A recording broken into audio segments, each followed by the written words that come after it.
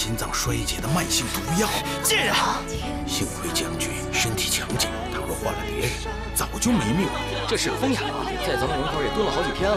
你是怎么去齐王勾结西夏反齐王是朕的皇兄任何人都可以反他不可以。